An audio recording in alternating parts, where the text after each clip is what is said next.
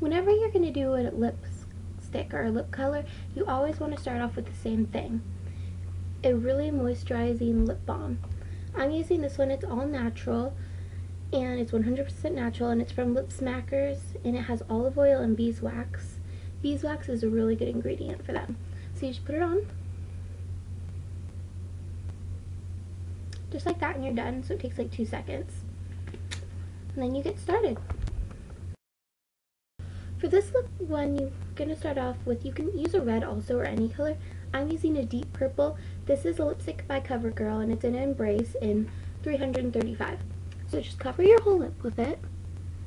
Just like this. It'll go on really smooth.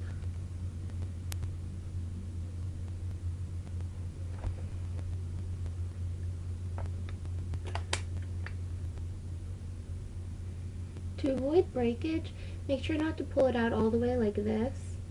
To just have it a little so it's barely touchy. And then take a gold eyeshadow. I'm using this one from the LA Colors eyeshadow palette in Sandcastles. Just take a regular brush and get the gold. Make sure you really get a lot and just put it on the inside of your lips like this.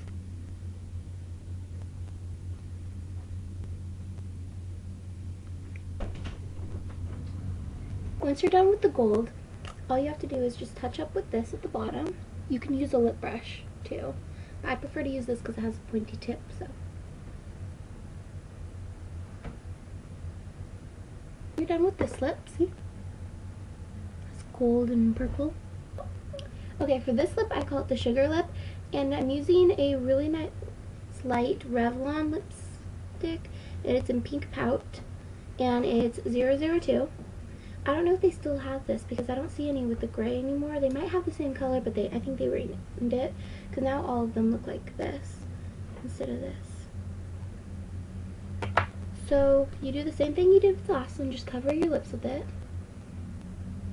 Then after, add a goopy, well not goopy, but sticky um, clear lip gloss. This one's from Kirkland, from Costco. So what you do is you squirt it out I'm sure you know how to put lip gloss on. Just goop it on. So after you put it on, your lips should look really glossy. And I put some sugar. I'm actually using real sugar. And all I did was put it in like a little art tray. And you just get it on your finger and dab it on.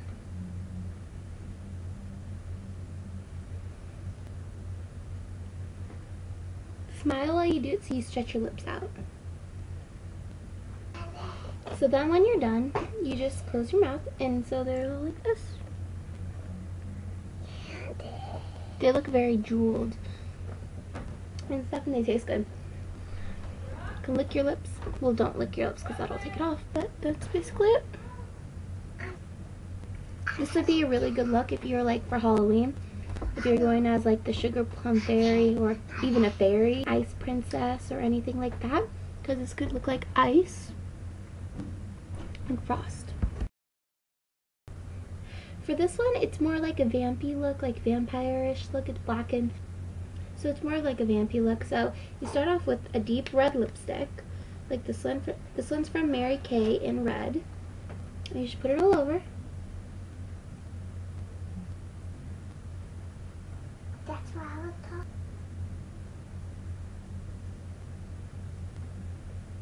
When you wear extreme lips like this, you need to make sure that your eye makeup is really simple. And then you want to take a black lipstick. I got this one from Costume Castle because I can't really find black lipstick at like the regular drugstore or makeup shop. So you just put this in the middle, like this. Kind of like what we did with the gold, but with black. You can stretch your lip out a little. And then, and then take a red lipstick, I mean lip gloss, like a really pigmented one and just put it on the red part, not the black part.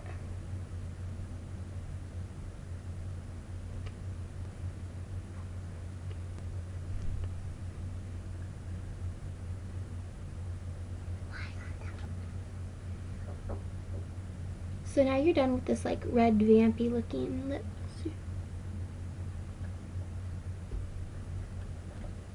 You could wear this with Well, if you're going for the vampire look, I would suggest like a deep maroon red and then put a black over it. So the maroon red is like an undertone.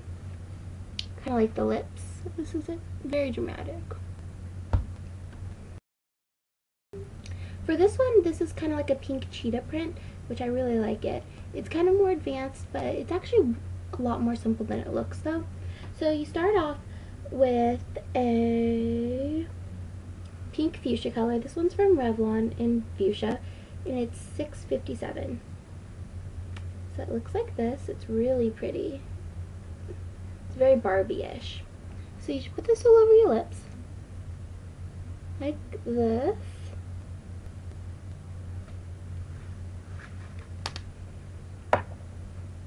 You stole that. So now that you have the pink fuchsia on your lips, you can either take a black eyeliner, gel or water, or you can take a black lipstick. So you just roll it up.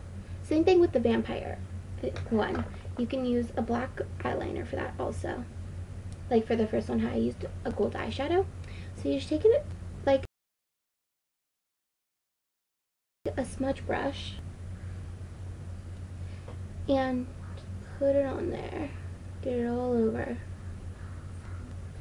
and just start doing a cheetah print. You should look at a picture of cheetah print for a reference.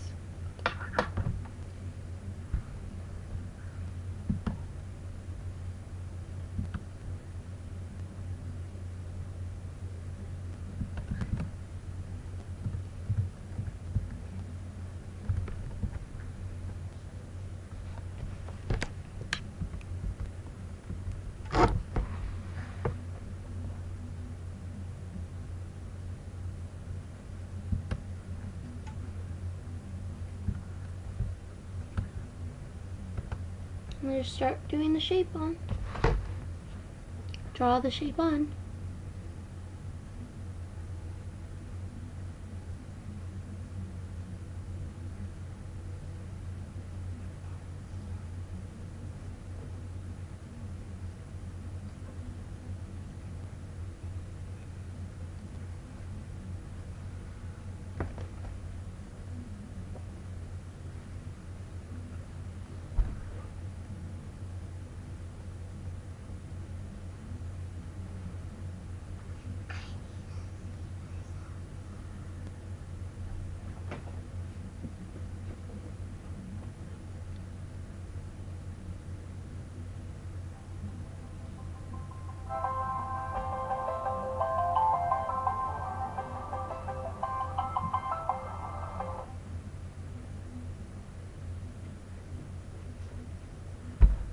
And then just keep doing shapes.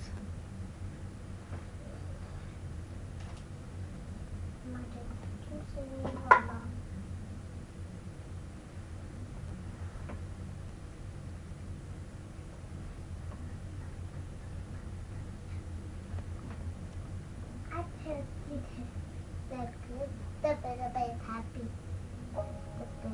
bear, the bear. Bear, the bear. Bear. A hide in the hide box.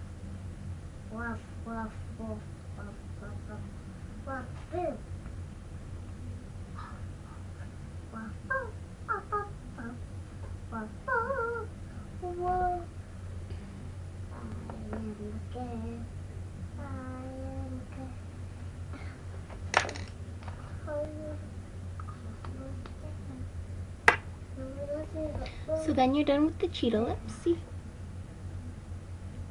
Kind of like a cheetah print on there. So I hope you like this one. So these last lips I like to call the Queen of Hearts lips because they're like a heart. So all you do, you can use a pink or a red. I'm using a red, that's why I call them the Queen of Hearts. But you could also use like a deep pink, like a, pu a pretty one like this. This is Rimmel London in Pink Chick 220. So you could use that or a darker fuchsia. But I'm using a red. You can even use a black if you want, if you want to do like a dark one. So you just get this. Make sure that it's and just take a smudge brush or a lip brush And just get it on there. And draw on the heart.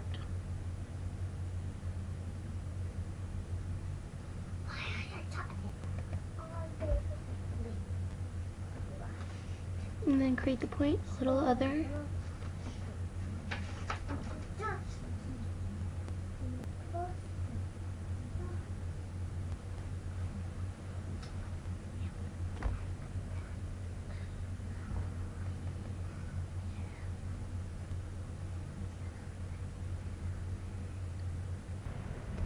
Then when you're done, you can put a red lip gloss on.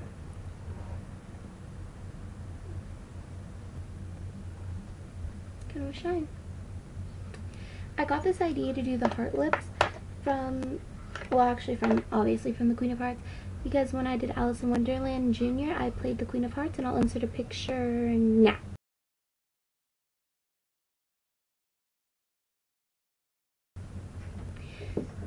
So I had a lot of fun playing her. It was really hard to be mean because like they were my friends that were playing the other characters and I had to yell at them and be like, off with your head. And then my friend Ailey was Alice. So that was probably the biggest challenge, but I had so much fun doing it. So that's where I got the inspiration for these lips. Because I actually did them for the plays.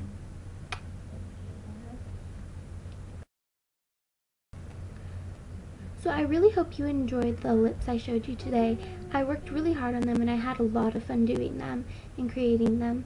Like makeup is seriously like my number one thing that I love to do and I know the, your lips can say a lot and that's kind of why I did this. And I mean some of these you probably wouldn't wear out on a normal day but like just for like a part Halloween party or maybe even a concert like an Avril Lavigne concert or Pink or someone would be really cool. And I had like I said, I had so much fun making them and I hope you try them out. If you do, definitely send a picture of them and um, send it to me on Facebook or Twitter. My Twitter is the same name as my YouTube account, Mady is Amazing, M-A-D-Y-I-S-A-M-A-Z-I-N-G. And check out my clothing line at madysaenz.spreadshirt.com. I'll put the link in the description. And thank you for watching. Bye.